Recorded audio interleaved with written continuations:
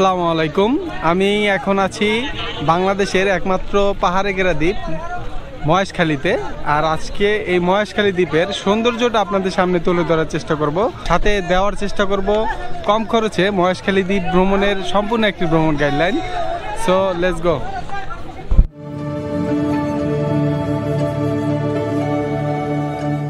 Maheshkhali বাংলাদেশের কক্সবাজার জেলার বঙ্গোপসাগরে অবস্থিত একটি দ্বীপ।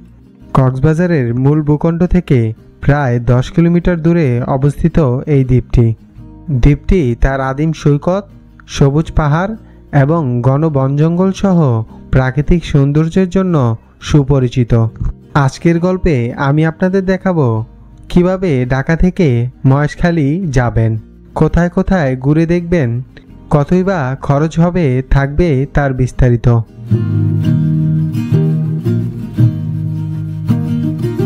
মহেশখালী দ্বীপ যেতে চাইলে প্রথমে আপনাকে কক্সবাজার চলে আসতে হবে।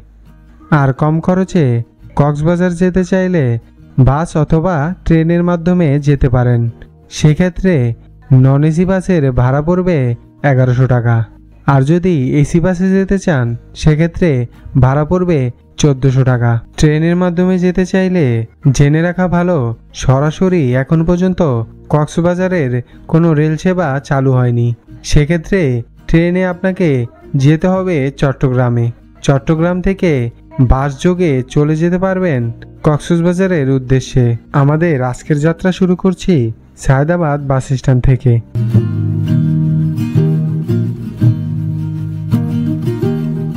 আমাদের আজকের যাত্রাবিরতি দেওয়া হয়েছে হোটেল টাইম স্কোয়ারে। যাত্রাবিরতির হোটেলগুলোতে কিছু খাবার আগে অবশ্যই দাম জিজ্ঞেস করে খাবেন। কারণ যাত্রাবিরতির হোটেলগুলোতে খাবার প্রাইস তুলনামূলক বেশি হয়ে থাকে।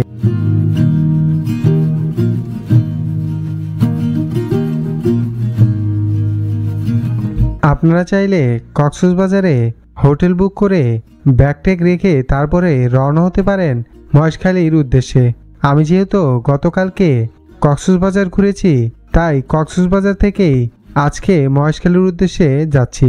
আর মহেশখালী যেতে হলে প্রথমে আপনাকে চলে যেতে হবে কক্সবাজারের ছয় নম্বর জেটি ঘাট। কক্সবাজারের যে কোনো জায়গা থেকেই ছয় নম্বর জেটি ঘাট যাওয়ার জন্য অটো পেয়ে যাবেন।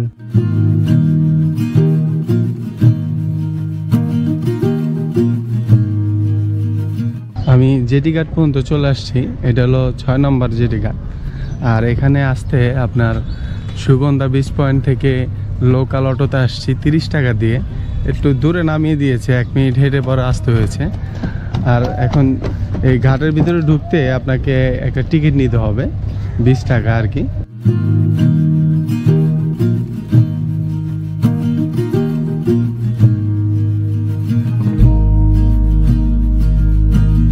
ছয় নম্বর জেটি ঘাট আসলেই অনেক স্পিড বোট আর ট্রলার পেয়ে যাবেন। ট্রলারে যেতে চাইলে আপনাকে অনেকক্ষণ ওয়েট করতে হবে। সেজন্য আমি স্পিড বোর্ডে চলে যাচ্ছি মহেশখালী দ্বীপের উদ্দেশ্যে।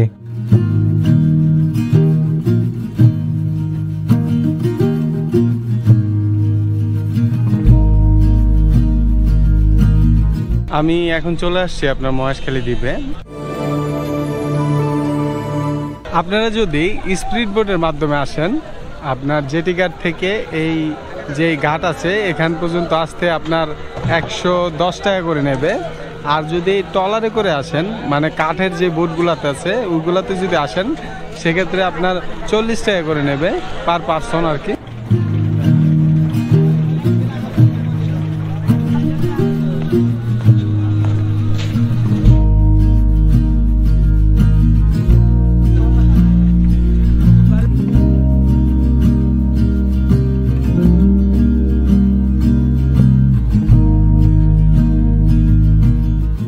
মহেশখালী জেটি ঘাট থেকে আপনার একটা অটো ভাড়া করছি যেটা আমাকে এই মহেশখালী দ্বীপটা ঘুরিয়ে দেখাবে।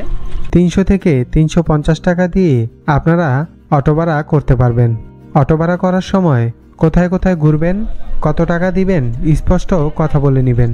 না হলে বিপদে পড়তে হতে পারে।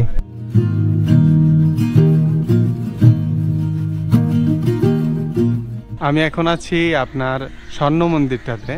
যেটা এই মহেশখালীতে অবস্থিত, আপনার জেটি ঘাট থেকে বের হলেই কিন্তু আপনার এটা পেয়ে যাবেন আপনারা, পাশেই অবস্থিত এই স্বর্ণ মন্দিরটা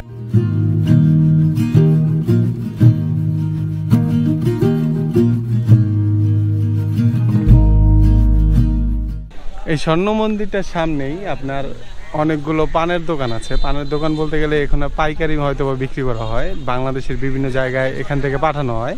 মানে আমার লাইফে আমি এতগুলো পান দেখিনি কখনো একসাথে।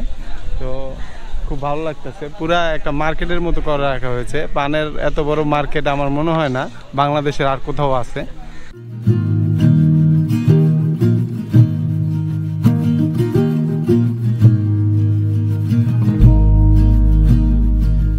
এখন আসছি আপনার ঝাউবনে। তো ঝাউবনে হলো আপনার এখন কোনো পানি নেই আশেপাশে। এটা একটা বিচ কিন্তু এখানে একদম শুকিয়ে গেছে এখন এই মুহূর্তে আর কি। শুধু ঝাউ গাছ ছাড়া কিন্তু কিছু দেখতে পাবেন না এখানে। দশ হেক্টর জায়গা জুড়ে তৈরি, বিশাল বড়, তো বুঝতে পারতেছেন দশ হেক্টর আর কি। আর আশেপাশের জায়গাটাও অনেক সুন্দর। চারিদিকে বন আর বন অঞ্চল আপনার একদম সুন্দরবনের যে ফিল্ডটা আছে, এটা কিন্তু আপনারা পাবেন এখানে আসলে। এই ভাইদের সাথে দেখা হয়েছে এখানে আইসা। ওনারা খুব হেল্পফুল আর কি। মানে ঘুরে ঘুরে দেখাইতেছিল আমাকে। সম্ভব সুন্দর একটা জায়গা। তো এখানে আসলে আপনার খুব ভালো একটা সময় কাটবে।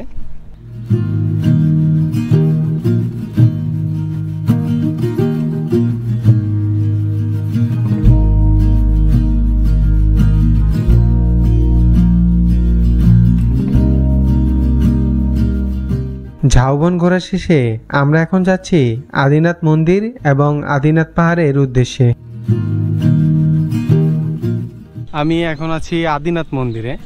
আর আদিনাথ মন্দিরের পাশেই কিন্তু একটা পাহাড় আছে। পাহাড়টাতে উঠতেছি। আর মন্দিরের ভিতরে দেখার মতো ওইরকম কিছু নাই। দেখি পাহাড়ের উপরে কি ভিউটা দেখা যায়।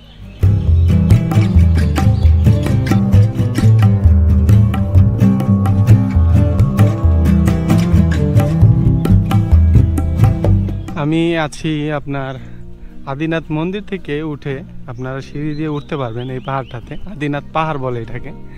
তো এখানে কিছু স্থাপনা আছে, যেগুলো আমি আপনাদের দেখাবো। আর উপর থেকে এটার ভিউটা কিন্তু আপনারা সুন্দরভাবে দেখতে পাবেন। তো এটার ভিউটাও আমি আপনাদের দেখাবো।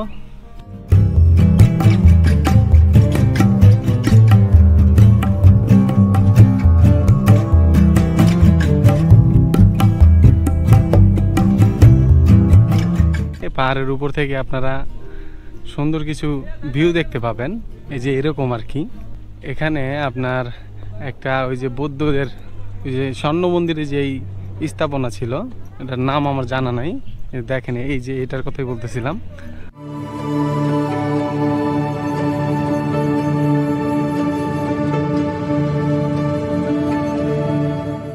আদিনাথ মন্দির আর আদিনাথ পাহাড় থেকে এখন বেরিয়ে যাচ্ছি। এখানে আসলে আপনার ওই মন্দিরে যারা আছে আর আপনার পাহাড়ে উঠলে আপনার আশেপাশের সুন্দর একটা ভিউ দেখতে পাবেন। এছাড়া কিন্তু আপনার ওইরকম কিছু নাই এখানে। তো এখন দেখি, এই যে পাশেই কিন্তু আপনার শুটিং ব্রিজ অবস্থিত। তো এখানে যদি আসেন, আপনারা পাশাপাশি সব কিছু পেয়ে যাবেন।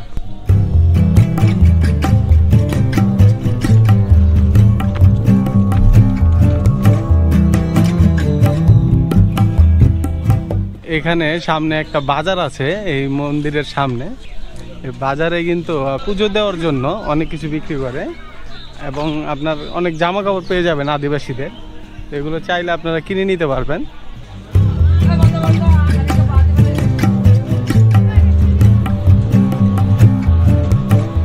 আমি এখন আছি আপনার শুটিং ব্রিজে এটার নামকরণ হয়েছে এখানে অনেক আগে একটা সময় শুটিং হয়েছিল, যে কারণে এটার ওই শুটিং ব্রিজ নাম হয়ে গেছে।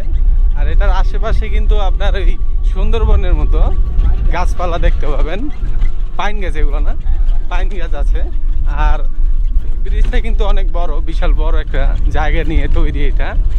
আর আপনারা চাইলে এখানেও আসতে পারবেন। যদি আপনারা একবারে রিজার্ভ করে নিয়ে আসেন বোটগুলো তাহলে কিন্তু এখানে নিয়ে আসবে আপনাদের। তো দেখি এটার একদম শেষ মাথা পর্যন্ত চলে যাব, দেখি কি আছে।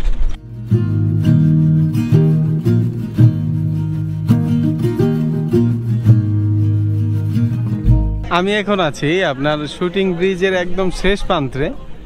এটাতে আপনার অনেকগুলো অটো রাখা আছে এখানে। একটা জেডি ঘাটের মতো আর কি। বিশাল বড় একটা জায়গা নিয়ে তৈরি। এখানে অনেকগুলো অটো রাখা আছে আর এই পিছনে কিন্তু আপনার সেই বঙ্গোপসাগর।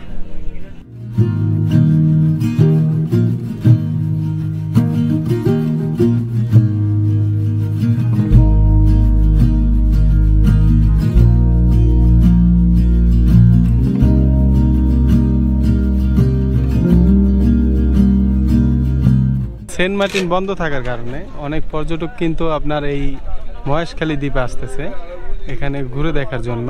এটা পাহাড়ে ঘেরা একটা দ্বীপ, অনেক সুন্দর একটা জায়গা। তো এখানে কিছু মন্দির আছে দেখার মতো, আর পাহাড় আছে উপর থেকে, আর এখানে বিখ্যাত হলো আপনার পান। পান আসলে এখানে আপনারা খেতে পারেন, এখানে অনেক ধরনের পান বিক্রি করা হয়। এই শুটিং স্পটটা কিন্তু খুবই ভালো লেগেছে, এখানে আপনারা আসতে পারেন। কিন্তু বিকালে আসলে হয়তো আরও বেশি ভালো লাগবে। এখন অনেক রৌদ্র সেই জন্য হয়তো বা আর পর্যটকও বেশি নাই এখানে।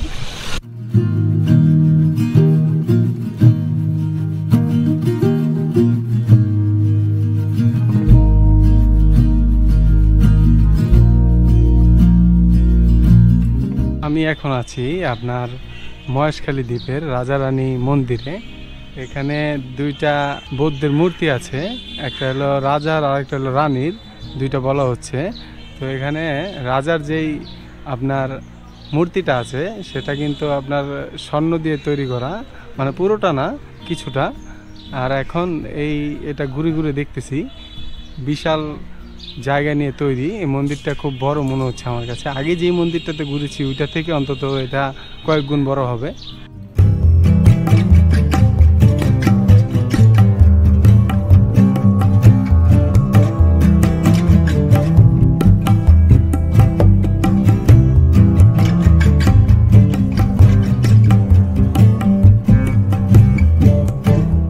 বৌদ্ধ বিহার এটার নাম আর কি। স্থানীয় ভাষায় বলে রাজারানীর মন্দির। কিন্তু এটা আসলে বৌদ্ধ বিহার। আর এখানে প্রবেশ করতে কিন্তু আপনার দশ টাকা করে দিতে হবে পার পার্সন। আর এখানে জোতা খুলে তারপরে আপনার প্রবেশ করতে হয় এই মন্দিরে।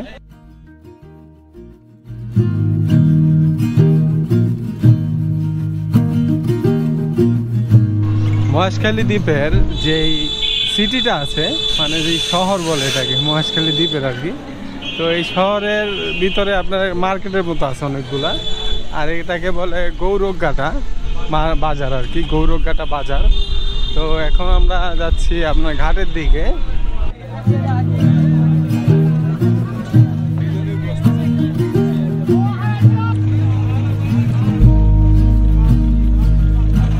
আসার সময় যেহেতু আমরা আপনার স্ট্রিট বোর্ড দিয়ে আসছিলাম, তো এখন কাঠের বোর্ড দিয়ে যাব আর কি। একদম এই কক্সবাজারের জেটি ঘাট পর্যন্ত। আর কাঠের বোর্ডের বাড়ানো এলো চল্লিশ টাকা করে পার পার্সন কক্সবাজার যেতে যেতে আপনাদের কিছু ইনফরমেশন দিয়ে রাখি। মহেশখালী দ্বীপ ঘুরতে আপনার সর্বোচ্চ দুই থেকে আড়াই ঘণ্টা সময় লাগবে। আর এই জন্য আপনার থেকে ভাড়া চাওয়া হবে ছয়শো থেকে সাতশো টাকা। আপনাকে অটো ভাড়া করার সময় সাত আটটা পর্যটন স্থানের নাম বললেও তিন থেকে চারটা পর্যটন স্থান আপনি দেখতে পাবেন। আর বেশিরভাগ পর্যটন স্থানগুলোই খুব কাছাকাছি অবস্থিত। অটো ভাড়া করার সময় অবশ্যই মূলামূলি করে নেবেন। মূলামূলি করে নিলে আপনারা তিনশো থেকে সাড়ে তিনশো টাকায় মহেশখালী দ্বীপ ঘুরে দেখতে পারবেন। আমরা এখন আছি আপনার ছয় নম্বর জেটি ঘাটে। আর আসার সময় আমি আসছি আপনার কাঠের বুট আছে এগুলাতে। ওগুলাতে আসলে আপনার চল্লিশ টাকা করে নেবে। সময় প্রায় এক ঘণ্টার মতো লেগে যায়। আর যাওয়ার সময় কিন্তু আমরা স্পিড বোর্ডে গিয়েছিলাম। সেক্ষেত্রে আপনার পনেরো থেকে বিশ মিনিট লাগে। তো এখন আমি যাচ্ছি কক্সবাজার শহরের উদ্দেশ্যে।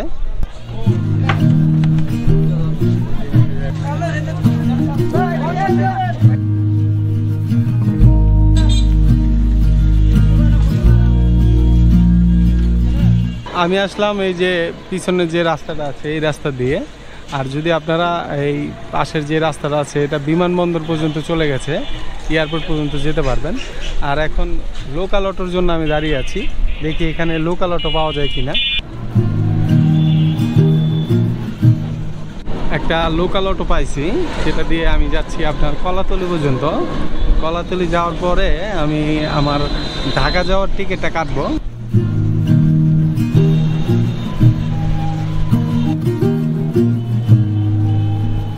কলাতলি বাস স্ট্যান্ড এসেই প্রথমেই আপনাকে বাসের টিকিট কেটে নিতে হবে। তারপরে চলে যাবেন দুপুরের লাঞ্চ করার জন্য। দুপুরের লাঞ্চ করার পরে বিচের পারে চল্লিশ টাকা ঘণ্টা প্রতি সিট ভাড়া নিয়ে বসে পড়বেন সূর্যাস্ত দেখার জন্য। রাত দশটার গাড়িতে করে আমি রওনা দেব ঢাকার উদ্দেশ্যে। আর আজকের গল্প থেকে এখানেই বিদায় নিচ্ছি। ইনশাল্লাহ দেখা হবে পরবর্তী কোনো ভ্রমণের গল্প নিয়ে। আল্লাহ হাফেজ। ধন্যবাদ।